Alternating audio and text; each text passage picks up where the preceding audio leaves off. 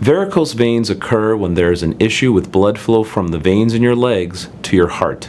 It affects about 25% of US adults, and up to 80% experience leg swelling and spider veins, amongst other venous issues. Varicose veins can be caused by prior blood clots, obesity, pregnancies, trauma, surgeries, genetic disorders, and even from being tall.